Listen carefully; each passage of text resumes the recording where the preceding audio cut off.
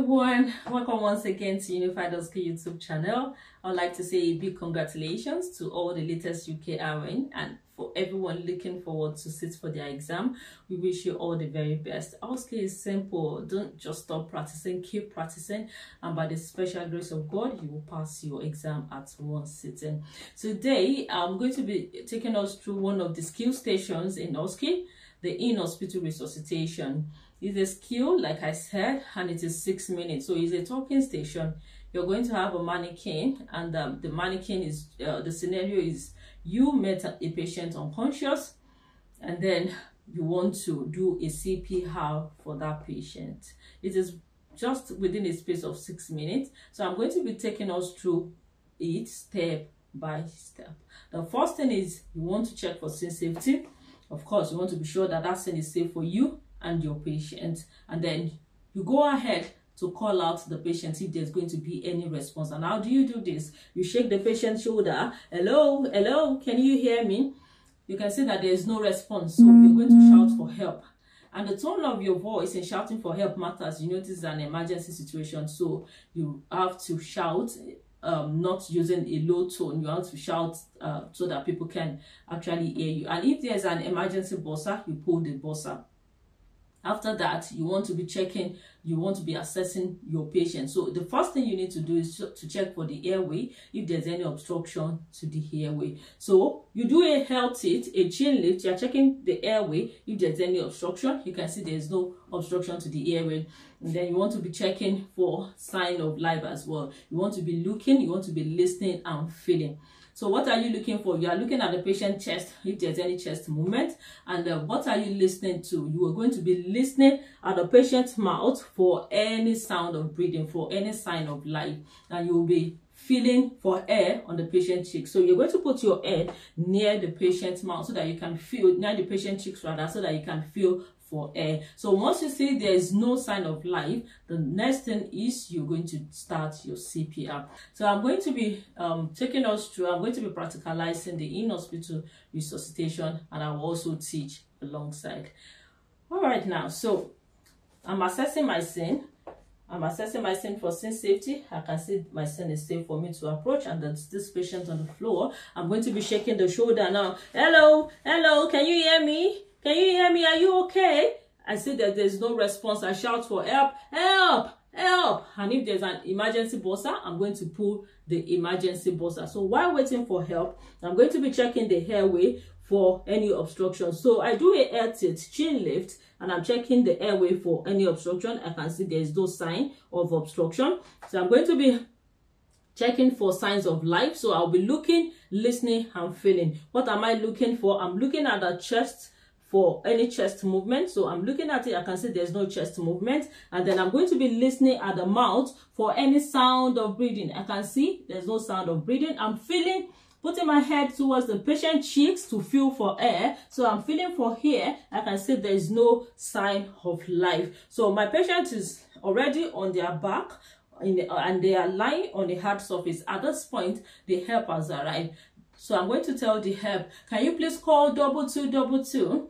There's an adult cardiac arrest in OSCE room 8 and tell them to come with the crash trolley and the bag valve mask. So while waiting for that, I'm going to be starting my compressions. I'll be giving 100 to 120 compressions per minute at a ratio of 30 compressions to 2 rescue breaths at a depth of 5 to 6 centimeters.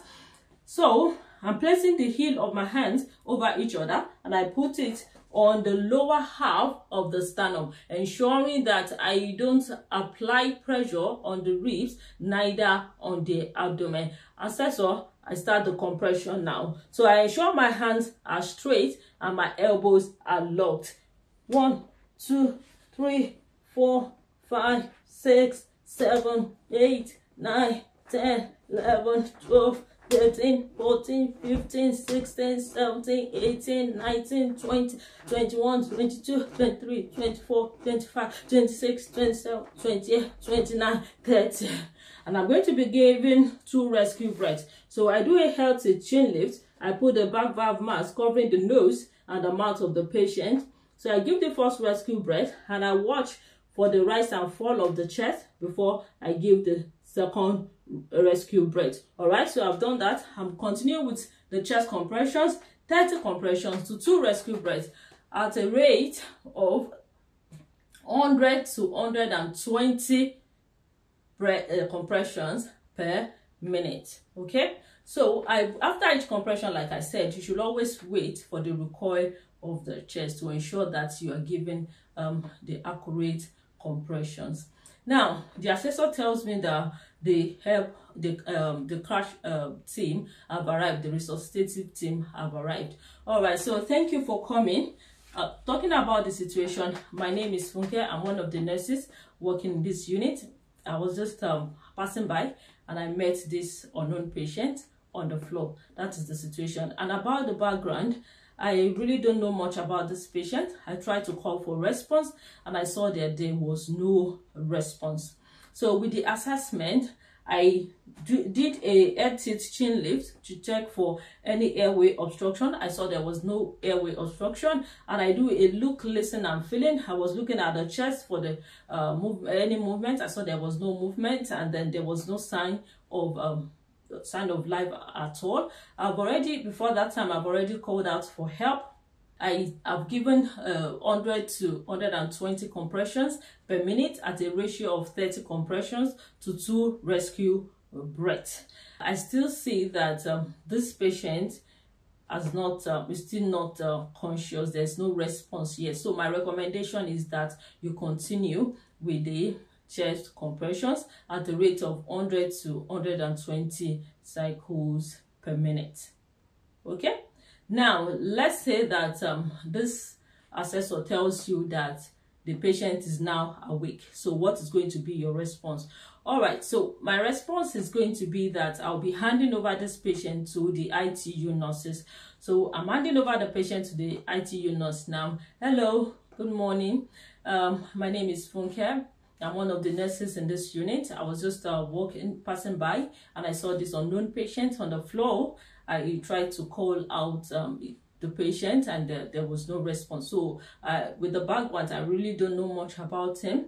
All I knew was I checked out for sign of life, and I saw that there was no sign of life. So I had to call out for help and with the assessment i checked for on uh, the airway there was no obstruction and uh, i looked listen and feel I saw there was no sign of life. So I started um, my CPR. So I've given 100 to 120 uh, compressions per minute at a depth of 5 to 6 centimeters at a ratio of 30 compressions to 2 rescue breaths. So after that, the patient, um, there was sign of life and the patient started responding, which was a good one. So my recommendation is that you uh, find out, you carry out more investigations just to find out what could be the cost of this, uh, what could have uh, made this patient to go unconscious, what could be the cost of this um, cardiac arrest. And the assessor can now ask you that what do you think could be the cause of a cardiac arrest. So you can tell the assessor that it could be hypovolemia, it could be hypoxia, and some other things. So that is how to go about this station. It's a simple station. Thank you so much for watching and I um, hope to see you some other time. If you have any comments, you can drop it in the comment section and don't forget to watch um, our other videos on our YouTube channel and do subscribe to it as well.